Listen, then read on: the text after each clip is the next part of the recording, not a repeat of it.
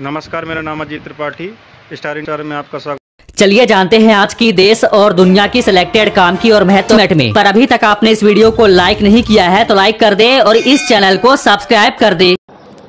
माँ मंदाकिनी में डुबकी लगा करके अपने आप को धन्य धन्य महसूस करता है। कामदानाथ पर्वत की परिक्रमा करके प्रभु के सामर्थ्य प्राप्त करने का कार्य करता है। और ऐसी पुण्य भूमि पर जन्म लेने और यहाँ पर सेवा करने का अवसर आप सबको प्राप्त हुआ है, इसके लिए मैं आप सबका हृदय से अभिवादन करता हूँ।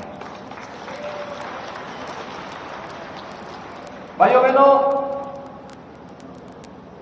कुछ लोग होते हैं जो अपने कृत्यों से पाप का घड़ा इतना भर लेते हैं कि वह स्वयं के लिए तो पहचान का संकट खड़ा करके पूरे समाज के लिए भी खड़ा कर देते हैं।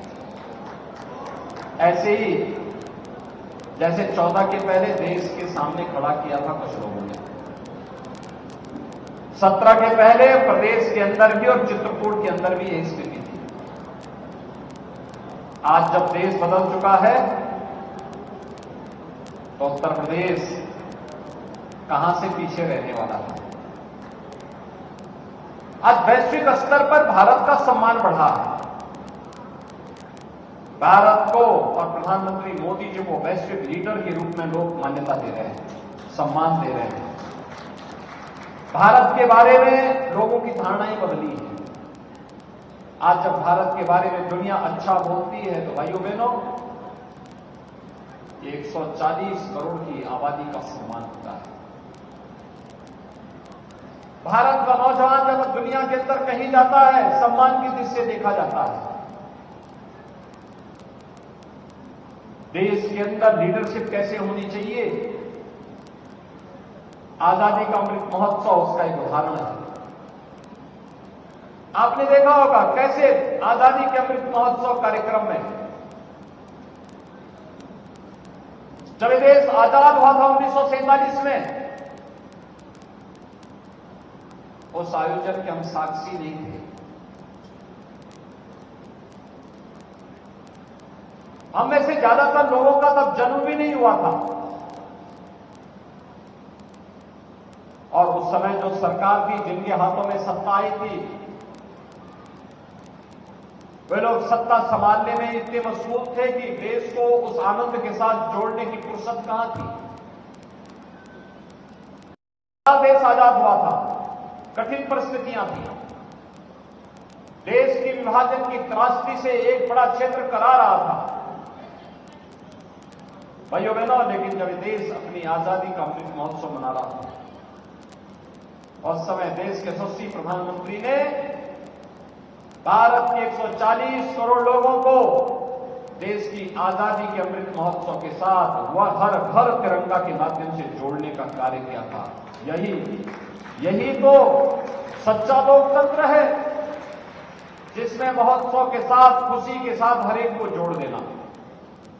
और संकट के समय स्वयं आगे आकर के लोगों का संबल बांधने की हिम्मत करना। ये दोनों गुण आपने देखे होंगे। कोरोना कालखंड में प्रधानमंत्री मोदी जी अकेले निकलते थे, पूरे देश को नेतृत्व देते थे। और जब महोत्सव की बात आई, आज़ादी के अमृत महोत्सव की। पूरे देश को एकजुट होकर के, पूरे देश को आयोजन के साथ शामिल करके, भारत के आज़ादी के अमृत महोत्सव के साथ शामिल करने का काम किया। आज क्या नहीं है भारत में? हाईवे बन रहे हैं। एक्सप्रेस हाईवे बन रहे हैं। रेलवे की नई नई लाइनें बिछ रही हैं। मेट्रो पब्लिक ट्रांसपोर्ट का बेहतरीन माध्यम आ रहा है। एयरपोर्ट बन रहे हैं। बड़े बड़े संस्थान तैयार हो रहे हैं। विरासत का सम्मान हो रहा है। काशी में काशी विश्वनाथ धाम। तो अयोध्या में श्री राम जन्म हुए पर भगवान राम के भव्य मंदिर के निर्माण का कार्य। मथुरा, वृंदावन सच संवर रहा है। और हमारा चित्रकूट धाम भी फिर से अपनी पुरातन पहचान को बनाए रखने के लिए आगे बढ़ रहा है। ये चित्रकूट धाम है, चित्रकूट धाम के साथ साथ इस धरती को सौभाग्य है। महर्षि वाल्मीकि की पावन जन्मभूमि भी इसी जनपद में, लालापुर में आता है। लालापुर को पर्यटन से विकसित करने का काम हो रहा है और भाइयों बहनों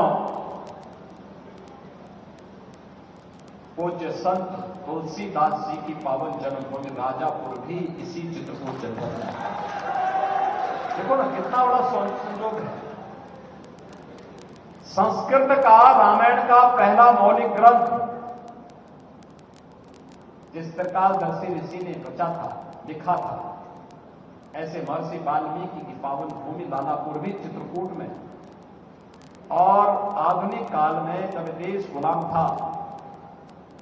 गुलामी के उस कालखंड से देश को मुक्त करने के लिए उस समय रामचरितमानस को अवधि भाषा में लिखने का कार्य और जन जन के माध्यम से रामलीलाओं के माध्यम से राष्ट्रीय चेतना को जागृत करने का कार्य जिस त्रिकालदर्शी संत ने किया था, ऐसे संत तुलसीदास जी की पावन जन्मभूमि भी इसी जनपद में आती है। और मैं इसीलिए कह रहा हूँ कि यहाँ का रज रज यहाँ का कण परशुराम के स्पर्श से स्पंदित है, आज भी उसको महसूस किया जा सकता है। हमारे पूज्य संत जन बैठे हैं। ये जब कामतगिरी की परिक्रमा करते हैं, चंद्रिका प्रसाद उपाध्याय जी नित्य प्रति कामतगिरी की परिक्रमा करते हैं। जब ये लोग परिक्रमा करते हैं तो अपने एक एक श्वास में उस स्पंदन को महसूस करते हैं। भाइयों बहनों, एक तो इतना महत्व इस धरती का, जहाँ पर तुलसीदास जी को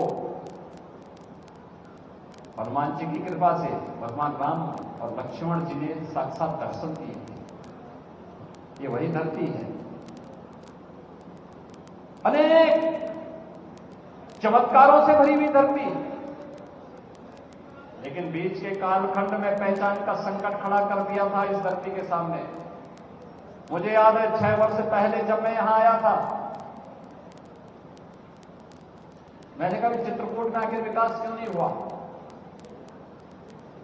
कहा साहब छह बजे के बाद निकलने की स्थिति नहीं होती? तो मैंने कहा, कौन खरदूषण आ गए हैं पे?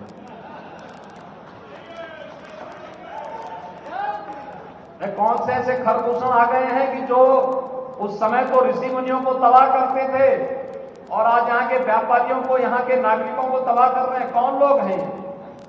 और भाइयों बहनों आज छह वर्ष के बाद जब मैं आपके बीच में हूँ, मैं कह सकता हूँ कि हमारा चित्रकूट डकैतों से पूरी तरह मुक्त हो चुका है।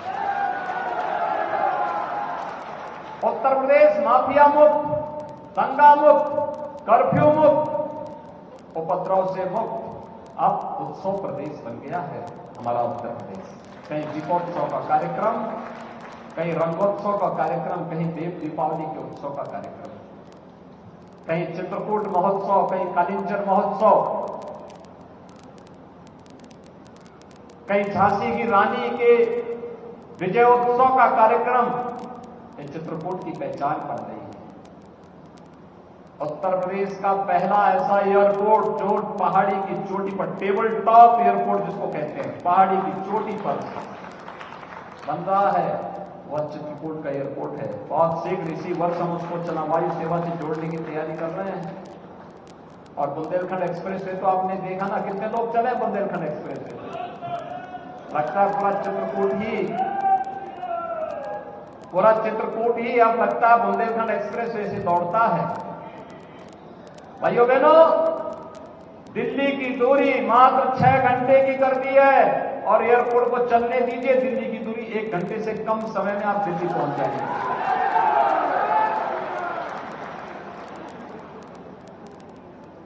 एक्सप्रेस हाईवे से चित्रकूट के बीच में एक औद्योगिक गलियारा हम बना रहे हैं। कनेक्टिविटी को फोर लेन से करेंगे भी, और साथ साथ इसको बेहतरीन तरीके से आगे बढ़ाएँगे। अनेक उद्योग लगेंगे। डिफेंस कॉरिडोर के भी डिफेंस के संबंधित रक्षा उत्पादन से संबंधित उद्यम यहाँ लगेंगे। ढेर सारे नौजवानों को नौकरी और रोज़गार मिलेगा। जो यहाँ पहले से व्यापारी, व्यापार कर रहे हैं, उनके व्यापार को आगे बढ़ाने बढ़ाने में मदद मिलेगी। और चित्रकूट के अंदर की कंजेशन को दूर करने के लिए रिंग रोड की भी घोषणा यहाँ पर हो चुकी है। बहुत शीघ्र उस पर भी कार्य हो। प्रदेश की पहली रोप रोप वे कहाँ चली थी? मालूम है ना? चित्रकूट में ही चली थी पहली रोप वे उत्तर प्रदेश की। यहीं पे परिक्रमा मार्ग पर और भाइयों बहनों, इसीलिए आज मैं कहने के लिए आया हूँ, हम लोगों ने चित्रकूट विकास विकास के लिए तीर्थ स्थल के विकास का एक बोर्ड भी बना दिया है। और बोर्ड यहाँ के विकास को एक नई गति देगा मैं तो इस बार सोच रहा था कि चित्रकूट में थोड़ी आबादी और होती अगल बगल के और भी कुछ गाँव आ जाते तो इसको पूरा नगर निगम बनाकर के स्मार्ट सिटी के रूप में लेकिन भाइयों बहनों, आएगा धीरे धीरे करके वो समय ज़रूर आएगा। लेकिन एक सरकार वह जो विकास पर ध्यान दी। चित्रकूट को उसकी मौलिक पहचान को देने का कार्य किया। चित्रकूट को डकैतों से मुक्त करके, अपराधियों से मुक्त करके फिर से सनातन, हिंदू धर्म के पवित्र स्थल के रूप में स्थापित करने का कार्य की वह एक डबल इंजन की भाजपा की सरकार आपके साथ। और एक लोग वे भी थे, जिन लोगों ने अपने पूर्वजों को ही भूलवा दिया। समाजवादी पार्टी जीवन भर डॉक्टर लोहिया के नाम पे राजनीति करती रही। रामायण मेलों की शुरुआत डॉक्टर लोहिया ने की। और ये जो भवन बना है ना यह भी डॉक्टर राम मनोहर लोहिया जी की प्रेरणा से बना है। लेकिन समाजवादी पार्टी कहती है कि राम तो थे ही नहीं विधक थे। अयोध्या में राम भक्तों में गोली चलाएँगे। राम भक्तों के बारे में अनर्गल प्रलाप करेंगे। रामायण के बारे में और संत तुलसीदास जी के रामचंद्र मानस के बारे में अनर्गल टिप्पणियाँ करेंगे। आज की समाजवादी पार्टी इनको रामचंद्र मानस अच्छा नहीं लगता। इनको रामायण अच्छा नहीं लगता। ये लोग महर्षि वाल्मीकि का सम्मान नहीं कर सकते। ये लोग महर्षि संत तुलसीदास जी का सम्मान नहीं कर सकते। ये प्रभु श्री राम की प्रति आस्था तो दूर प्रभु राम के अस्तित्व पर ही प्रश्न खड़ा करने वाले लोग। कारण है, इनकी सोच में नकारात्मकता है। इनकी सोच में अराजकता है। इनकी सोच में अवसरवादिता है। ये परिवारवादी लोग हैं। अपने परिवार के बारे में मात्र सोचते हैं। समाज के बारे में सोच नहीं है। और किसी सच्चा, सच्चे आदमी को, किसी संत को अपना हित मित्र नहीं बनाते। किसी पेशेवर डकैत को अपने गले का हार बना करके जनता का शोषण और व्यापारियों का शोषण करवाने के लिए उनको चरने, खाने के लिए छोड़ देते हैं। और इसलिए भाइयों, बहनों आज मैं आपके पास आया हूँ, आपसे कहने के आज हमारे चित्रकूट वासियों को, किसी गरीब को उपचार के लिए तरसना नहीं पड़ेगा। पाँच लाख रुपए की आयुष्मान भारत की जो गारंटी उसको हाथ में दे दी गई है। पाँच लाख रुपए की आयुष्मान भारत की बीमा का कवर।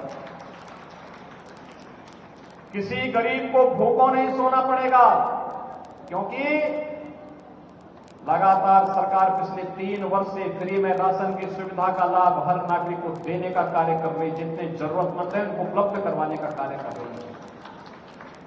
किसी निराश्रित महिला को, किसी दिव्यांगजन को, किसी वृद्धजन को, जो भी पात्रता की श्रेणी में आते हैं, उन्हें बारह हज़ार रुपये सालाना पेंशन की सुविधा का लाभ सरकार दे रही है, डबल इंजन की सरकार दे रही है। जिन लोगों ने आपको एक एक बूंद पानी के लिए तरसाया है आज उनको एक एक वोट के लिए तरसाइए। यही अवसर होता है। हम तो हर घर नल योजना पहुँचा करके आरओ का पानी पहुंचाना चाहते हैं आपके घर में, जिससे किसी बहन बेटी को अपने सिर में गगरी लेकर के दो किलोमीटर, पाँच किलोमीटर दूर से ला जाके जल बहाने के लिए मजबूर नहीं होना पड़ेगा। आज जब मैं इन सभी अपने जनप्रतिनिधियों को देखता हूँ कि जब ये लोग कार्यक्रमों में आते हैं, तैयारी के साथ, पूरी तैयारी के साथ लगे रहते हैं, तब मुझे लगता है इसलिए है क्योंकि अब हर घर नल योजना सफल हो रही है। और भाइयों बहनों हर घर नल योजना इसलिए सफल हो रही है, नहीं तो घर में पानी नहीं होता। और ये लोग ऐसे ही कार्यक्रमों में आते तो उसी गगरी से शाम को जाके मार भी खाते। लेकिन आज वह नौबत नहीं है। और इसलिए भाइयों बहनों, आज मैं आपके पास आया हूँ। चित्रकूट जन नगर भी और जनपद हमारे लिए बहुत महत्वपूर्ण है। आज हमने नगरों की व्यवस्था को बदला है। याद करिए ना, क्या स्थितियाँ थी पहले? सत्रह के पहले किसी नगर में जाइए, गंदगी, जाम, अव्यवस्था, सौदों का आतंक, रंगदारी वसूली, यही तो होता था। आज क्या कोई रंगदारी वसूली करेगा? आज रंगदारी वसूली का मतलब जानते हैं ना क्या होने वाला है? आज भाइयों बहनों व्यापारी को व्यापारी कल्याण बोर्ड के माध्यम से हमने 10 लाख रुपए की सुरक्षा बीमा दिया है। कोई आपदा आ जाए, कोई दुर्घटना घटित हो जाए 10 लाख रुपए उस व्यापारी परिवार को शासन दे देती है पटरी व्यवसायियों को पीएम स्वनिधि योजना का लाभ देती है। ब्याज मुक्त ऋण। हर पटरी व्यवसायी को जो भी आवेदन करेगा उसको सर बैंकों के माध्यम से सरकार दिलाने का कार्य कर रही है।